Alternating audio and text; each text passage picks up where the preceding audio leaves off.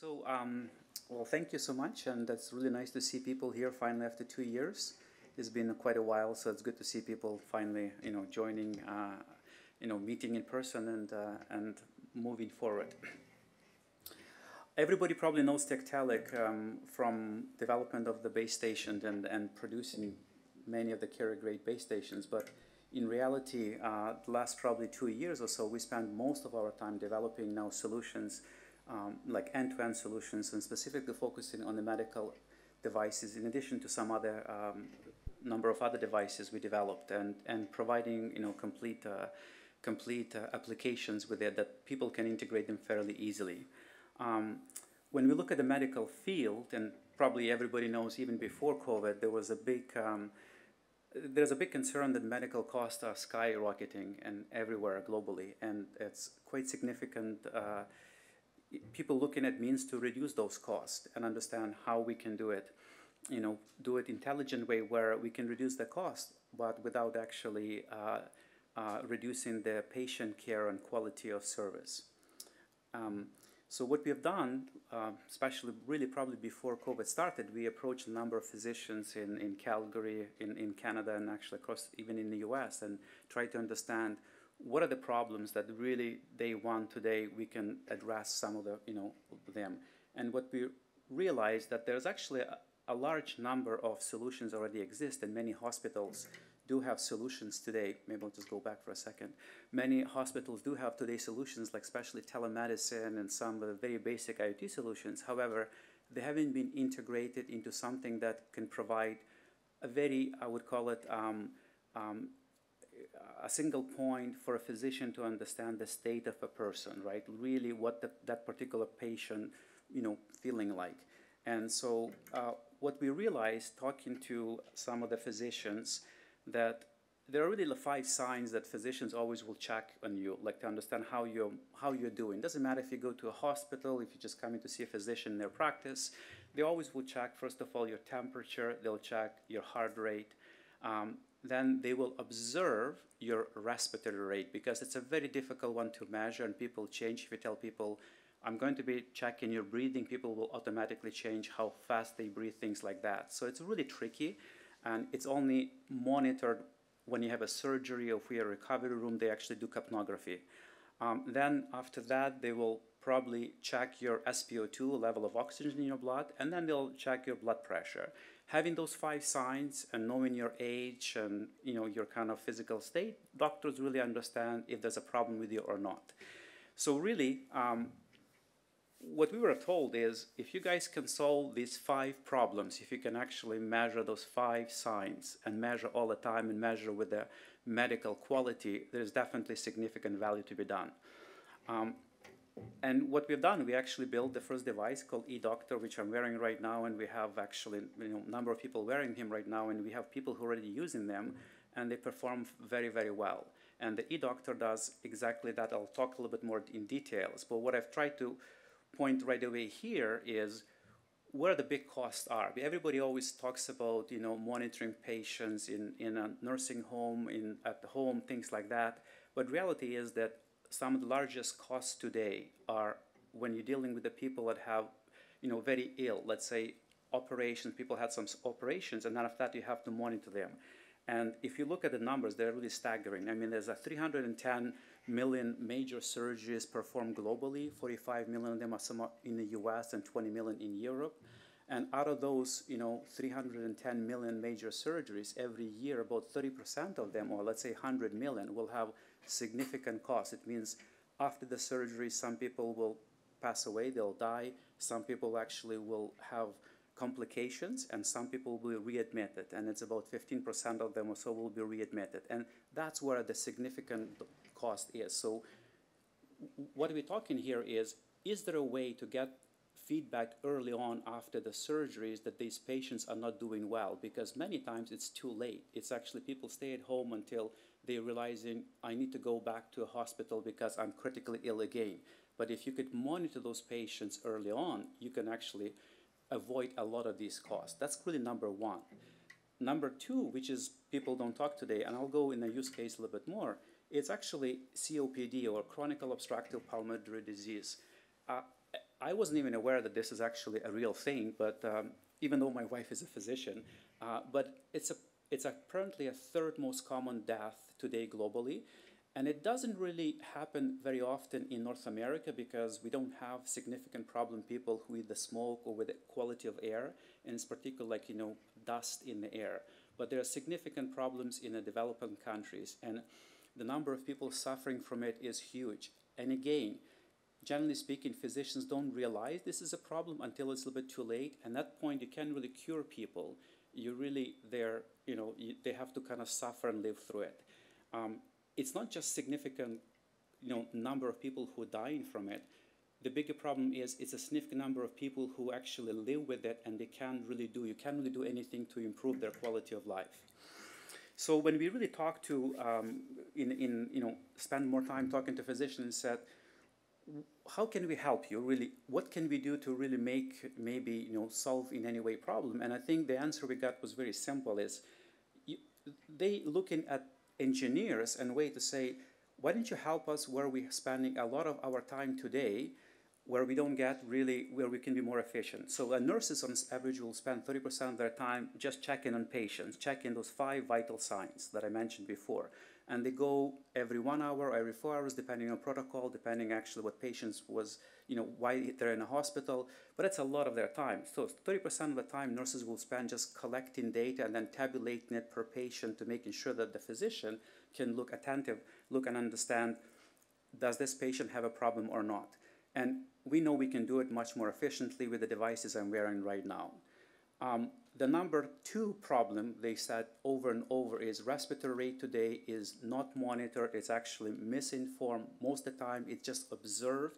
And I don't want to go into details, but the thing is that normal respiratory rate for a patient is between 12 to 20, like I'm speaking right now, probably 15, 16, something like that. When you have a surgery, they bring you down to about eight breaths per minute. When you go to six, you go blue, right? So you're between 8 to 10 depending on your age and things like that. That's kind of bringing you down so you don't bleed. But when you go to 6, so if you actually slow down, you go blue because you, your brain trying to shut down. If you go about 20 and you're not exercising, there's something really wrong with you, you know.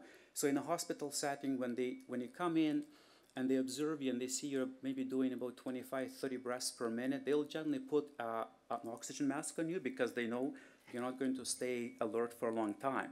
So it's a very good indicator, an indication that something potentially is wrong. And that's something they're looking today because that's a good indicator to know something potential wrong with the patients.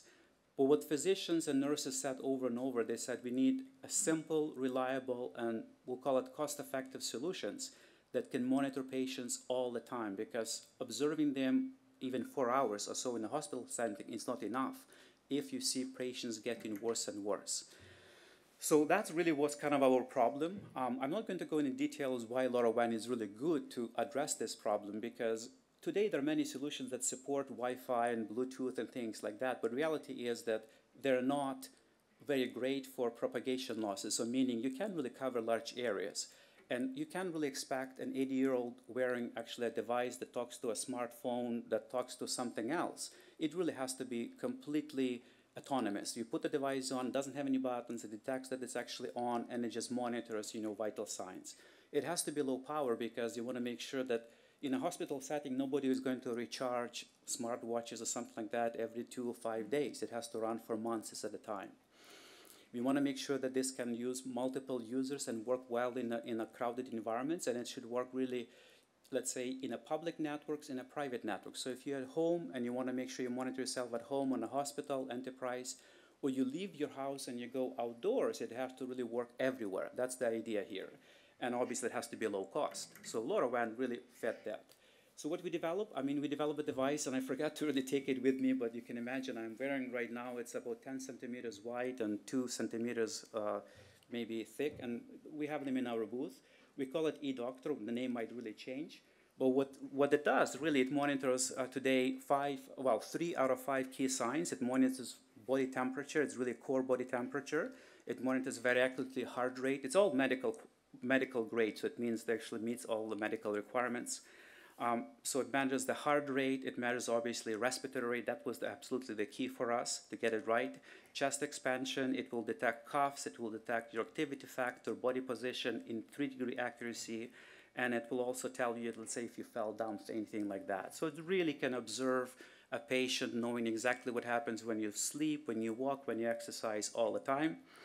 And it will send this data in normal mode every five minutes to the network, and in an urgent mode, let's say if you detect it, it will send it every one minute or so.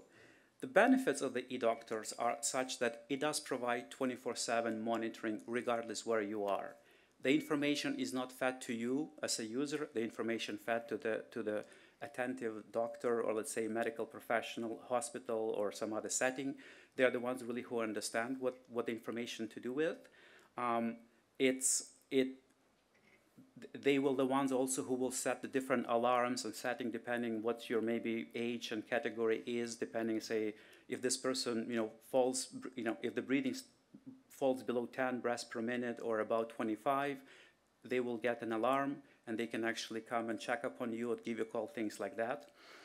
It significantly the view is it significantly is going to reduce the post-operative complications and cost and that's really number one use case for us today, even though there are lots of use cases is for specifically for monitoring people at home and other settings we can discuss it. But number one what we're looking for is reducing the cost of of medical services while you're in a hospital because they're horrendous from from what we understand right now. Um, the other really use case, really good for that one is when, when doctors prescribe you a medicine, they don't really know how well it works and what effect of the medicine has on you. Now, if they can observe you two weeks before you take medicine and let's say maybe three to four weeks after you take new medicine, they understand if actually medicine helping you or not in many cases. Um, the beauty of this device is literally it has no buttons, it has nothing to configure. You'll put it on, you wake, you, you, you when you put it on, you effectively wake up the device, it starts sensing that it's being moved, right, or detects the temperature and starts transmitting data. There's nothing to do it really to configure it or not to configure it, and it runs by putting it away. It will send the packet say, I've been taken off, so somebody can remind you, have to put it back on. Um, it can beep as well, things like that.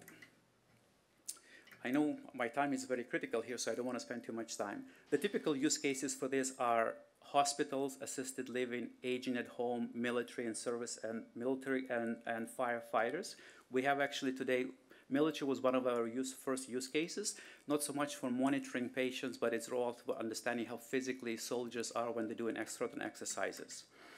It comes with a complete eDoctor application. It can be run on a device. It can be run obviously in a cloud. It can be on premises, and it's fully integrated with the medical hospitals uh, systems through HL7. And then the new device we're developing, I don't want to spend too much time, is eBeat that is very similar, but it goes on an arm, much smaller device. And in addition to this science, it will also measure SpO2. And the idea is for SpO2, you need to understand in some cases level of oxygen.